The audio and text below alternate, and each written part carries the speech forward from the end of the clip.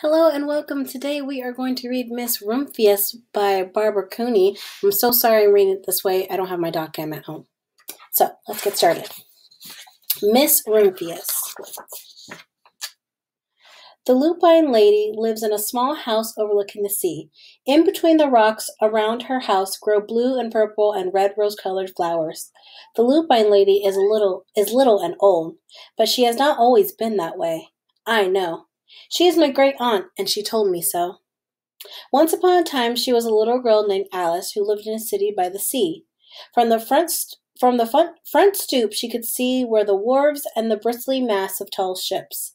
Many years ago her grandfather had come to America on a large sailing ship.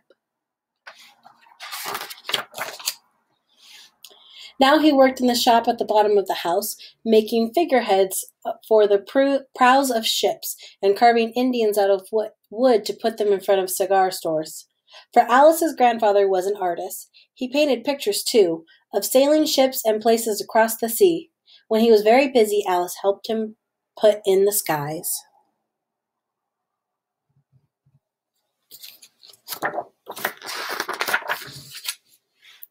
In the evening, Alice sat on her grandfather's knee and listened to his stories of faraway places. When he was finished, Alice would would say, When I grow up, I too will go to faraway places, and when I grow old, I too will live beside the sea. That is all very well, little Alice, said her grandfather, but there is a third thing you must do. What is that? asked Alice. You must do something to make the world more beautiful, said her grandfather. All right, said Alice, but she did not know what that could be. In the meantime, Alice got up and washed her face and ate porridge for breakfast. She went to school and came home and did her homework. Pretty soon, Alice was grown up.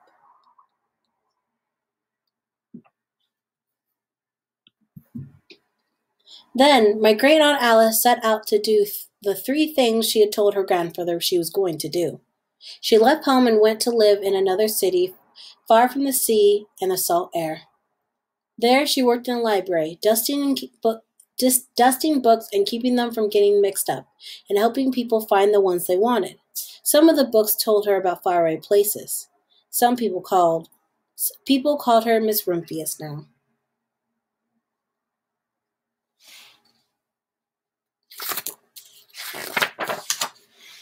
Sometimes she went to the conservatory in the middle of the park.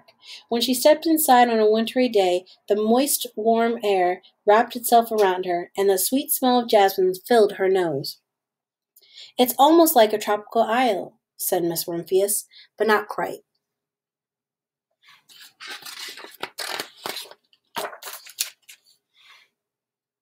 So Miss Rumphius went to a real tropical island where people kept cockatoos and monkeys as pets. She walked on long beaches, picking up beautiful shells. One day she met Baba Raja, king of the fishing island.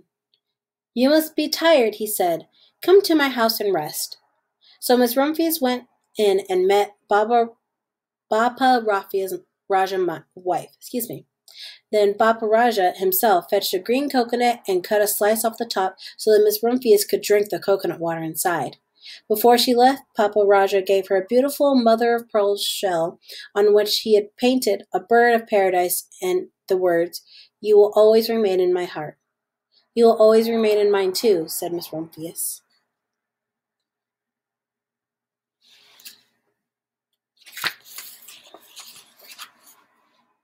My great aunt Alice Rumphius climbed tall mountains where she where the snow never melted. She went through jungles and across deserts. She saw lions playing and kangaroos jumping, and everywhere she made friends she never she would never forget. Finally, she came to the land of the lotus eaters, and there, getting off a camel, she hurt her back.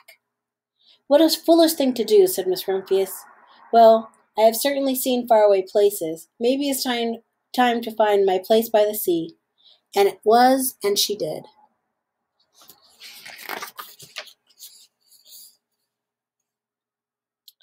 From the porch of her new house, Miss Rumphius watched the sun come up.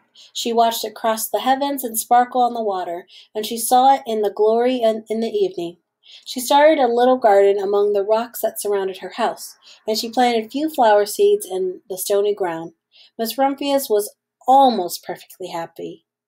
There is still one more thing I have to do, she said. I have to do something to make the world more beautiful. But what?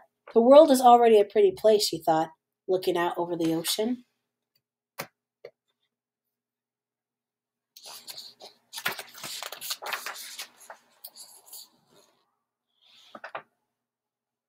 The next spring, Miss Rumphius was not very well. Her back was bothering her again, and she had to stay in bed most of the time. The flowers she had planted in the summer before had come up and bloomed in spite of the stony ground. She could see them from her bedroom window, blue and purple and rose colored.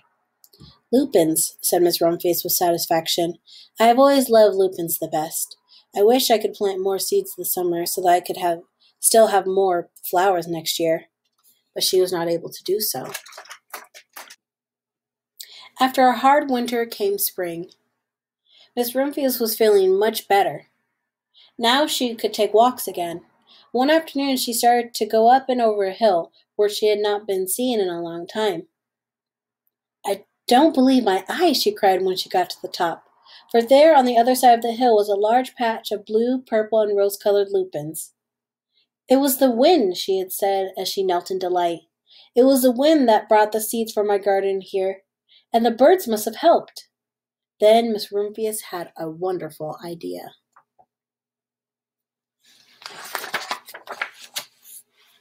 She hurried home and got out her seed catalogs. She sent off she sent off the very best seeds seed house for five bushels of lupin seeds.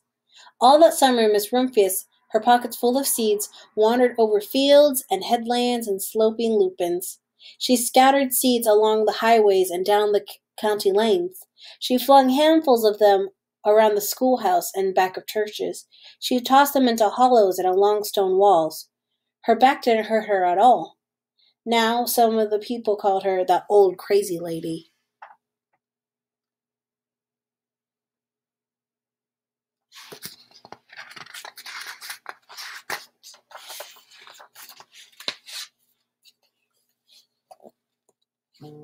The next spring there were lupins everywhere. Fields and hillsides were covered with the blue and purple and rose colored flowers. They bloomed along the highways and down the lanes. Bright patches lay around the schoolhouses and back of churches. Down the hollows and along the stone walls grew the beautiful flowers. Miss Rumphius had done the third and most difficult thing of all.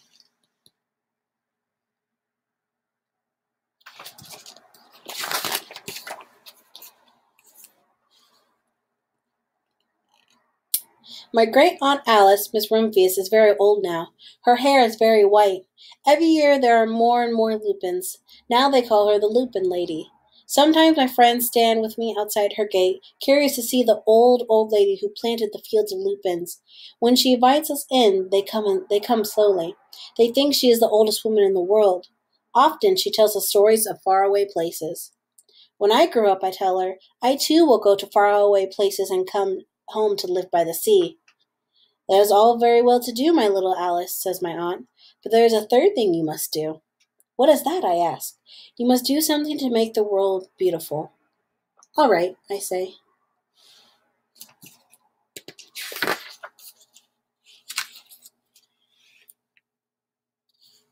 But I don't know yet what that can be.